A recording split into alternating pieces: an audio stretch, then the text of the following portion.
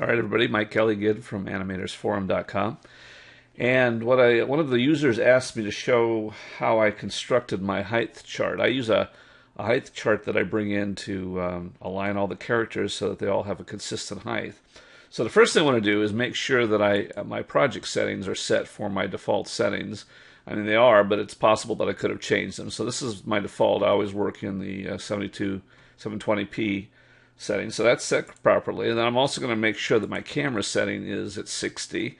So that's the that's the default camera position, and uh, also that's the default uh, translation position of the camera. Okay, so then what I'm going to do is I'm going to create a, a rectangle, and I'm going to make sure that autofill is turned off because I just want the stroke of the rectangle. So I'm going to go ahead and do that and drag that out real quick to the, the length of the screen because that's the the uh, amount that I'm going to be doing it by. And I also, while I'm at it, I might want to make the line a little thicker, so I'm going to make it a little thicker.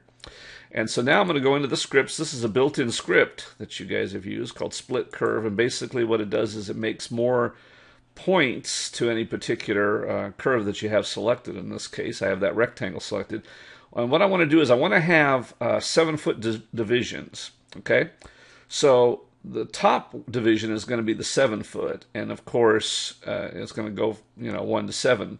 Well, that would mean that I would actually need, um, because you count the bottom as, as one there, and then the top is eight, so there'd be eight divisions, but I already have two, so I'm going to I'm going to split it into six. Does that make sense? You're going to you're going to put in here one less than the total number of height positions that you need. You'll see how that works. So now that's that's split the curve into points. I'm going to go to my particular tool. You can use add point, but my, my tool allows me to just add points as do as well other things. So I'm going ahead and I'm clicking on the first point on one side and then dragging it over, and that just automatically hooks into that.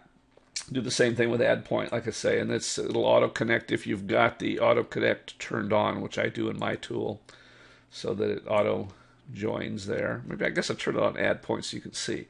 As long as it has auto weld turned on, auto point is the same thing. So I'm going there and you can see it turns green when it gets over that point so you know you're there. So that's auto point. So now I have all of those connected. So now I want to create shapes out of those. So I'm going to go ahead and select all of those.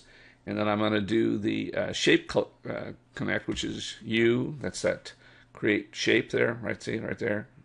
Create shape and then the space bar, and now that created all my shapes. So you can see if I if I render that, and now I have the shapes, and it, it went ahead automatically and built them as the same width as the default width, which I had already had set. So, um, so now I've got my basic chart. So now I want to generate the uh, the designations for it.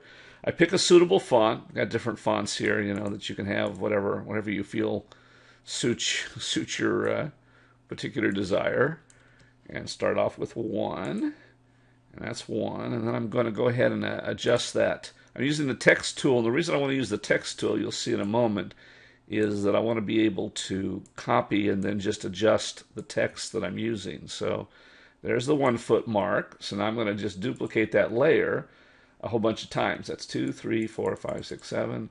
And I'm going to go into each layer and change the name although I don't really need to. I mean, I can leave the name the same for the purposes of this, but I'll go ahead and change it just to be just to be complete on this.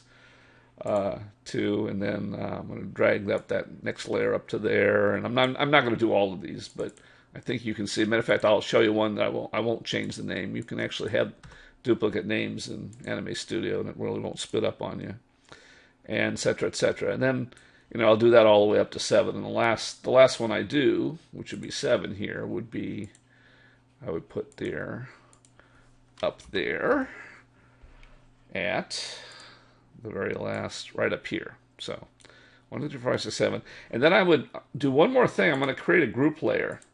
And uh, this particular group I'll call like height chart or something.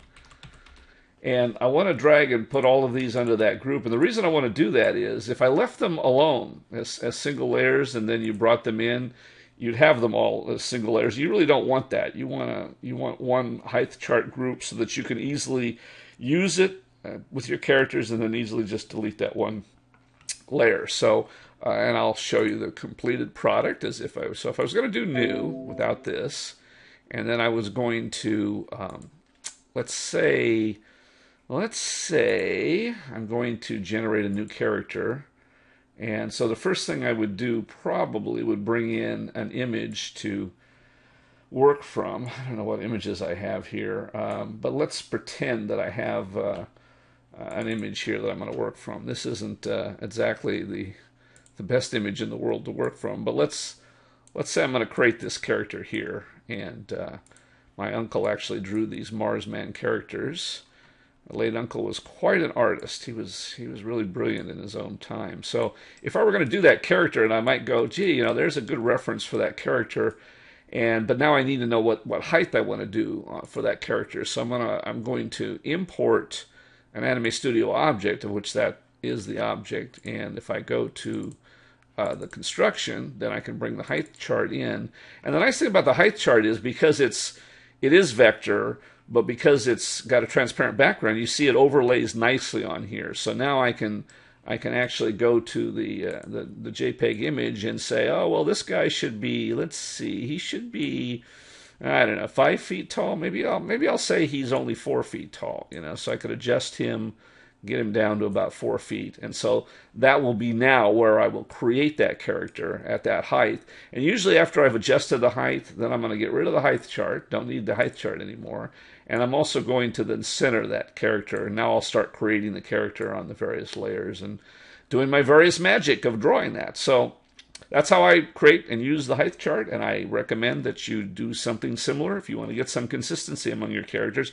The nice thing about that is if you create them all and you leave your layers all zeroed out and they're not zoomed in and they're not scaled or anything, then all your characters, when you bring them in, will have a consistent height.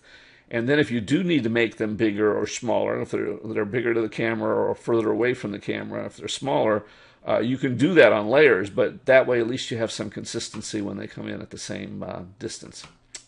So that's all. So hopefully you'll see on anime, anime animatorsforum.com with Anime Studio.